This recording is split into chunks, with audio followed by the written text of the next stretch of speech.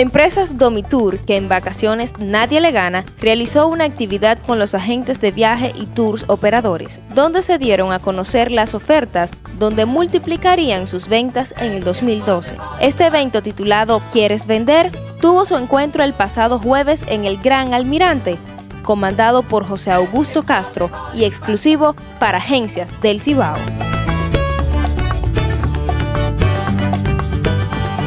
tiempo de.